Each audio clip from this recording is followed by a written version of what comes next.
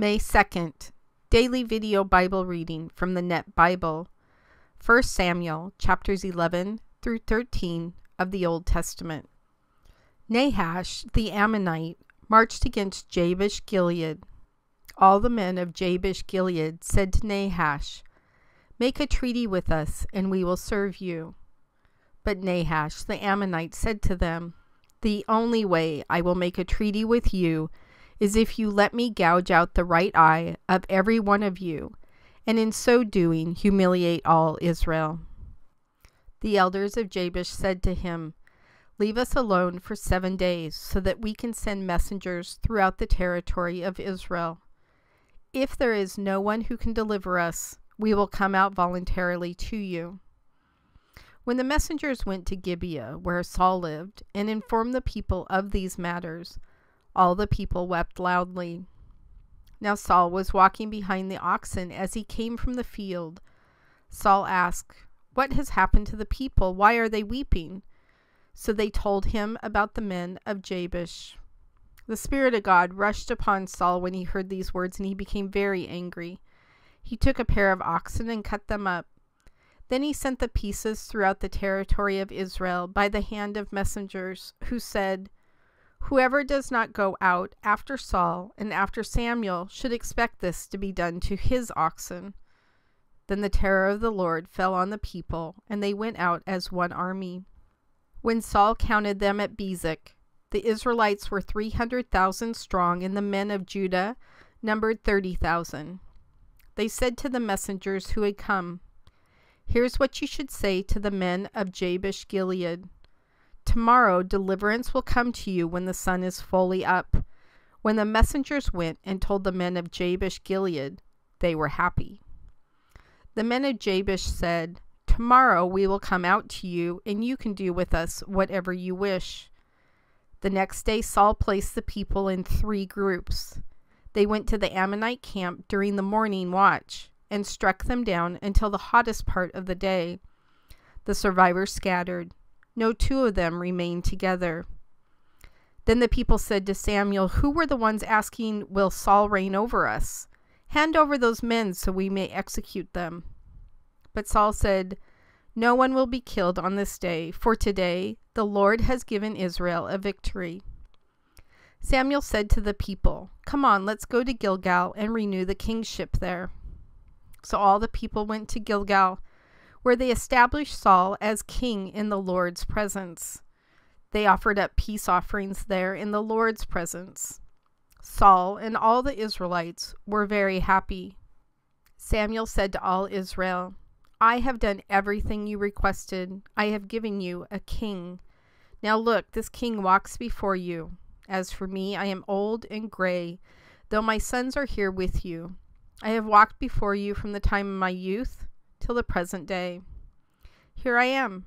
Bring a charge against me before the Lord and before his chosen king. Whose ox have I taken? Whose donkey have I taken? Whom have I wronged? Whom have I oppressed? From whose hand have I taken a bribe so that I would overlook something? Tell me, and I will return it to you.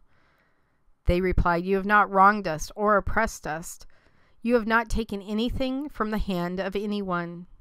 He said to them, The Lord is witness against you, and his chosen king is witness this day, that you have not found any reason to accuse me. They said, He is witness. Samuel said to the people, The Lord is the one who chose Moses and Aaron, and who brought your ancestors up from the land of Egypt. Now take your positions, so I may confront you before the Lord regarding all the Lord's just actions towards you and your ancestors. When Jacob entered Egypt, your ancestors cried out to the Lord. The Lord sent Moses and Aaron, and they led your ancestors out of Egypt and settled them in this place. But they forgot the Lord their God. So he gave them into the hand of Sisera, the general in command of Hazor's army, and into the hand of the Philistines, and into the hand of the king of Moab, and they fought against them. Then they cried out to the Lord and admitted, We have sinned, for we have forsaken the Lord, and have served the Baals and the images of Ashtoreth. Now deliver us from the hand of our enemies, so that we may serve you. So the Lord sent Jerubbaal, Barak, Jephthah, and Samuel, and he delivered you from the hand of the enemies all around you, and you were able to live securely. When you saw that King Nahash of the Ammonites was advancing against you, you said to me, No, a king will rule over us, even though the Lord your God is your king. Now look, here is the king you have chosen, the one that you asked for. Look, the Lord has given you a king. If you fear the Lord, serving him and obeying him and not rebelling against what he says, and if both you and the king who rules over you follow the Lord your God, all will be well. But if you don't obey the Lord and rebel against what the Lord says, the hand of the Lord will be against both you and your king. So now take your positions and watch this great thing that the Lord is about to do in your sight. Is this not the time of the wheat harvest? I will call on the Lord so that he makes it thunder and rain. Realize and see what a great sin you have committed before the Lord by asking for a king for yourselves. So Samuel called to the Lord, and the Lord made it thunder and rain that day.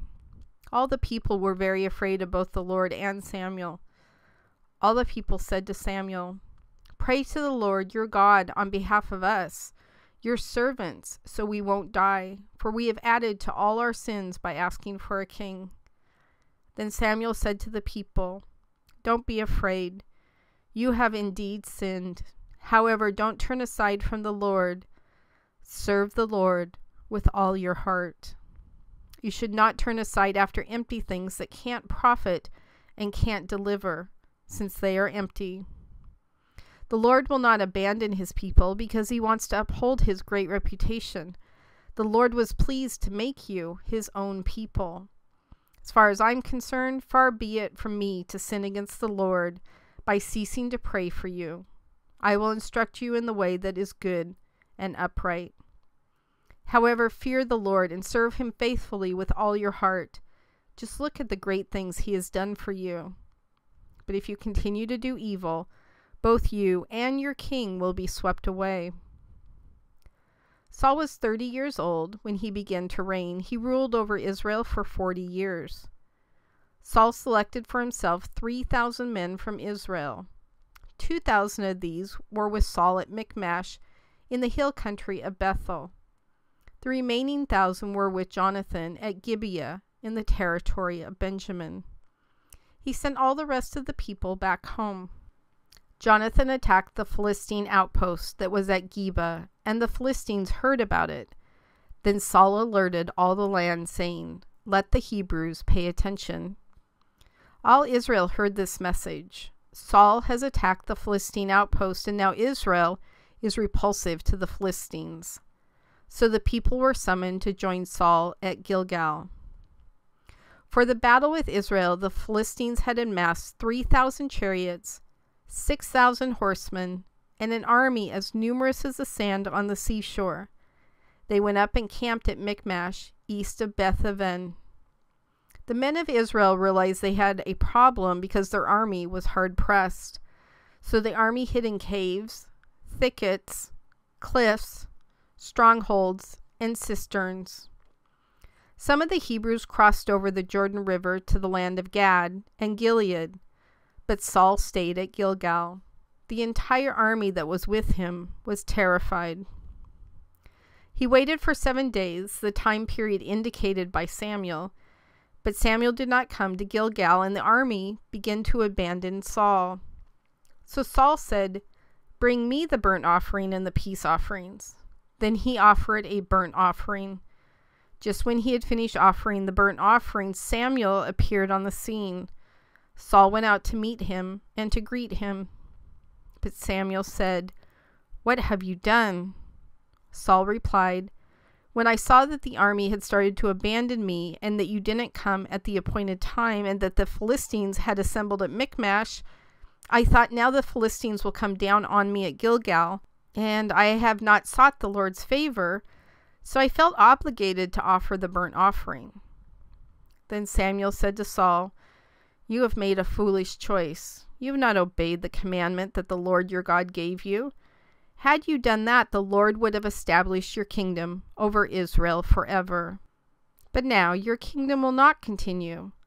The Lord has sought out for himself a man who is loyal to him, and the Lord has appointed him to be a leader over his people. For you have not obeyed what the Lord commanded you. Then Samuel set out and went up from Gilgal to Gibeah in the territory of Benjamin. Saul mustered the army that remained with him. There were about six hundred men. Saul, his son Jonathan, and the army that remained with them stayed in Gibeah in the territory of Benjamin, while the Philistines camped in Michmash. Raiding bands went out from the camp of the Philistines in three groups. One band turned toward the road leading to Ophrah by the land of Shual. Another band turned toward the road leading to Beth Horon, and yet another band turned toward the road leading to the border that overlooks the valley of Zeboim in the direction of the desert. A blacksmith could not be found in all the land of Israel, for the Philistines had said, This will prevent the Hebrews from making swords and spears. So all Israel had to go down to the Philistines in order to get their plowshares, cutting instruments, axes, and sickles sharpened. They charged two thirds of a shekel to sharpen plowshares and cutting instruments, and a third of a shekel to sharpen picks and axes, and to set ox goads. So on the day of the battle, no sword or spear was to be found in the hand of anyone in the army that was with Saul and Jonathan. No one but Saul and his son Jonathan had them a garrison of the Philistines had gone out to the pass at Michmash.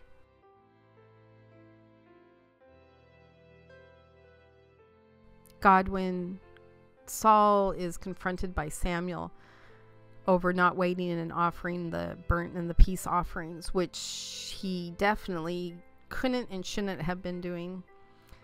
Saul's first response is to start making excuses, and and I would say that that hits a little bit too close to home for most of us, me especially. I can find every reason in the book to talk myself into doing something wrong. I can justify things with the best of them. my consequences will still be there. But it seems that uh, that we're really good at making excuses as to why we did certain things. And I've started to realize that instead of making excuses, what we're really doing is trying to not take responsibility. I didn't intend to hurt you. That wasn't my intention to make you feel that way. Um, I didn't mean to sin, it just happened. I'm not sure if not taking responsibility has always just been part of the world, like we, we're seeing here with Saul, or if, or if I just see it more and more often now in this world. But it just feels like nobody wants to take responsibility for their actions anymore, God. We want to blame it on eBay if we're online sellers. We want to blame it on someone else, or we want to blame it on the church, or, or even I've, and I've done this before, we want to blame it on you that the reason things happened weren't our choices. Um, and these aren't the consequences. It was because of, of you, God. We couldn't be more wrong. But I don't know where this is coming from. Is it our selfishness? Is it our unwillingness to understand to put others before ourselves? Do we not get the commandment to love others and what that truly means to love them like you first loved us? I don't know. I just know it's it's getting a lot of us into a lot of trouble by not taking responsibility for our actions here on earth and you know, we're called to a completely different standard here on earth than the rest of the world is. You've made that very very clear we aren't taught to respond to other people. We're taught to love them. So if someone says something hurtful to me, my first reaction is probably to want to say something hurtful to them, but we've been called to do something else, not making excuses for, well, they hurt me first. which we tend to do. But we're we're actually supposed to stop and and love them. God, I I know that that is really hard. It's something that I've been working on for years and years. It's easy to love the people that are lovable. But when somebody's being hurtful or cruel to you, or you've messed up in a relationship and that's causing problems, our first reaction is to respond like the world responds, to make excuses, to blame somebody else or something else. That's not what you called us to, God. We are royal children of our Heavenly Father, and we're held to completely different standards.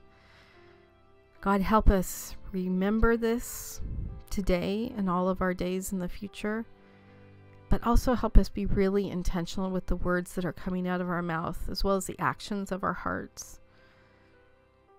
That the person we're talking to, or the things that we have done that have caused problems, saying these hurtful things or, or doing hurtful things, we're doing them to people that you love. You created your children. God, today, may the words that come out of my mouth and the actions that come from my heart be pleasing to you. O Lord, my rock, my redeemer. In your Son's name I pray. Amen.